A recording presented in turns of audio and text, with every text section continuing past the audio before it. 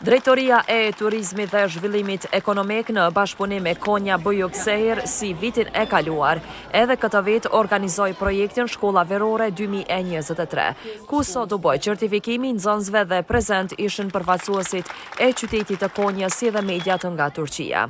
Drejtoresha e Turizmit Lirie Bytyqi me këtë rast tha se ky ishte një aktivitet i suksesshëm dhe domethënës.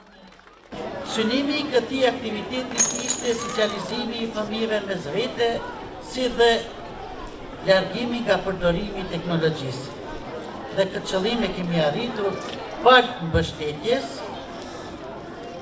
të dhënë nga Komuna e Konjës, si dhe organizatës Komek, të cilët kontribuan me materiale si dhe me mëditje për mbajtjen e këtyre aktiviteteve ku fëmijët kanë mbajtur dhe kanë kanë pasur aktivitete të lloj lloj të ndryshme aktivitete të cilat kanë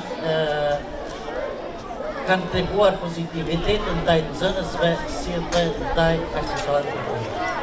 Erdogan Nutke nga konja e Turqis me këtë rast ishte shumë i gëzuar për suksesin e kësaj shkolle verore, me shprej se vitin që vije numri i nëzënzve do të rritet. Komik olarak hem yetişkin öğrencilere hem de çocuk öğrencilere hizmet etmenin vermiş olduğu mutluluğu yaşıyoruz. Şehrimiz Konya'da binlerce genç komek öğrencisi çocuklarımıza hizmet ediyoruz ve son yıllarda Balkan ülkelerinde de genç komek çocuklarına hizmet etme fırsatı bize sunuldu ve biz de bunu yerine getiriyoruz.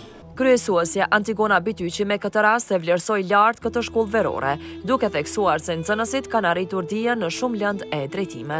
Pas njohurive që i kam, që i kam marrë nga prindërit, gjegjësisht edhe nga nxënësit të cilët i kanë ndjekë këto aktivitete gjatë verës, Ka qenë një projekt shumë i qëlluar, domethonë ka qenë shumë i mirëpritur nga fëmijët edhe nga prindërit, ku ata kanë kaluar diku rreth 4 javë me këto aktivitete të shkollës fillore, kanë pas aktivitete të ndryshme, kanë bërë vizita të ndryshme si të monumenteve kulturore, po çka është ma e rëndësishme, e shohim shumë të rëndësishme socializimin e fëmijëve në mes vedi, domethonë ata kanë njohur shumë shokë dhe shoqe, kanë marrë njohuri të reja nga këto aktivitete, Dhe ja sot kemi arritur deri te përmbyllja e shkollës verore ku po bëhet edhe certifikimi dhe gjegjësisht këta nxënës do të marrin edhe dhurata.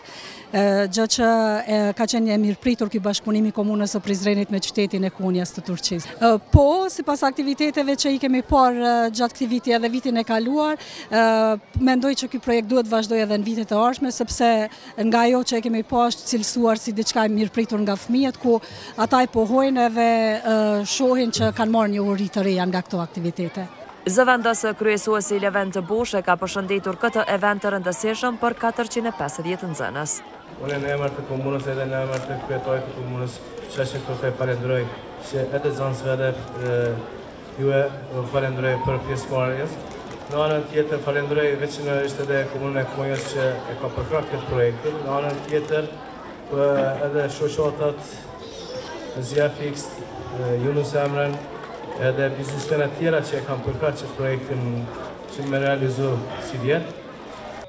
Derisa nxënëset pjesëmarrëse flasin me dashuri të veçantë për këtë shkollë verore, duke thënë se kanë takuar shumë shokë e shoqe dhe kanë vizituar monumente të rëndësishme të qytetit. Shkolla verore u kanë njëna prej eksperiencave më të mira që i kom përjetu, kena mësu shumë sene të reja, jena kënaqë me lojna, ato lojna kanë pas krejt kuptime të veta.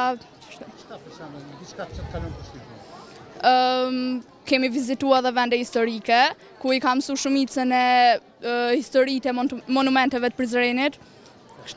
Po, është shumë e vlefshme, kemi mësu shumë sene t'reja, kemi ba shoqni t're, kemi vizitu shumë sene t'reja, për shembull kemi shumë monumente, kemi shku të teqetë, e kemi vizitu xhaminë e Sinan Pashës.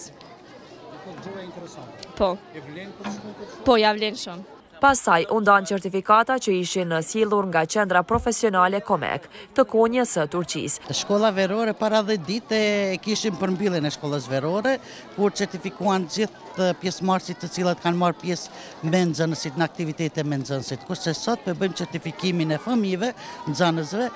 Në shkollën verore kanë marrë pjesë mbi katërqind e pesëdhjetë nxënës, afër pesëqind nxënës. Sot do ta bëjmë certifikimin e tyre dhe Do t'i shpërndajmë dhuratat të cilat na i kanë mundësu Komuna e Konjës, gjegjësisht organizata Komek. Një falenderim i veçantë shkon për organizatën Komek dhe Komunën e Konjës, gjegjësisht për organizatorin Erdogan një këte i cili është nikoqiri gjithë këtij organizimi dhe këtij projekti.